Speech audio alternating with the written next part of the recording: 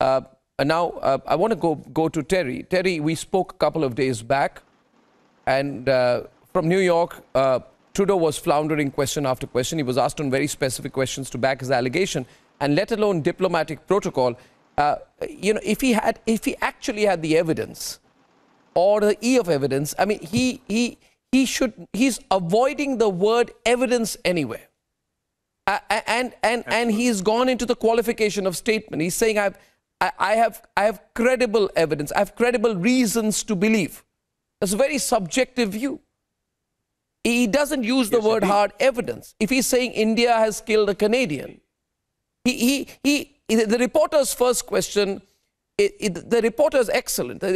Trudeau is asked why nobody's supporting him. He pauses, then goes into a tangent about how Canada is, in a, is, is a country that believes in the rule of the law. He's not giving direct statements for something with so much significance, like literally going into diplomatic war with India. Uh, let me just uh, push back a little bit on that. The, the uh, Canadians are pointing out, and the Americans are pointing out, uh, quite strongly, in fact. The White House called my former colleagues at the CBC to say, no, this reporting that we are not supporting the Canadians uh, is incorrect. Uh, the Washington Post has backed off on that, its story to that effect. But that's a, that, that's a side issue.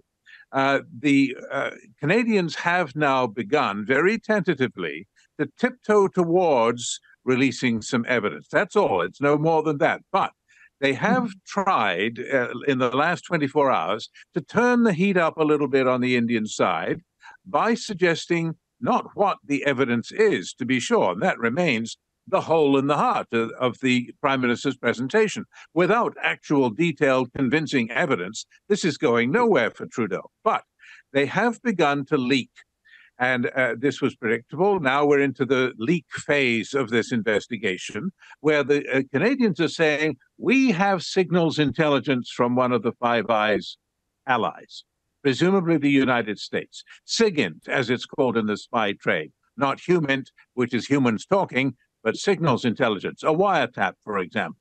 And that uh, ties uh, a unnamed um, Indian government official or, or perhaps a diplomat uh, to uh, the machinations around this murder. Well, it doesn't tell us very much. We can't hang very much on it. But there's a second part of the leaks overnight that Indians should be aware of, I believe.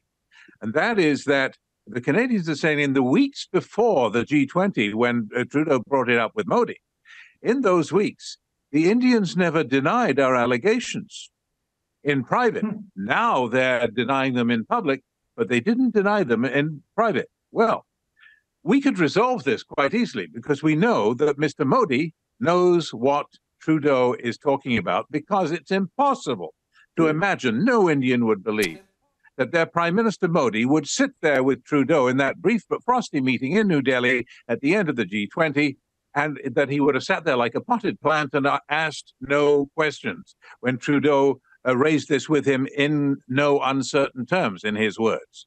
So Modi would have asked, What are you talking about? What's your evidence? And Trudeau uh, would have revealed something. So if Modi wanted to blow Trudeau out of the water, all he has to do is say, Look, Trudeau is reluctant to reveal his evidence. I know why, because it's rubbish. And here it is. Here's what's wrong with it. This guy wasn't even in the neighborhood or whatever it is. He could blow Trudeau out of the water by revealing what he knows and showing that it's nonsense. And he's not doing that. So uh, we uh, they're both painted into a corner with great respect. It's not just Trudeau that is not producing something concrete. Uh, it's also Mr. Modi that uh, no. has some knowledge that he's not sharing right now.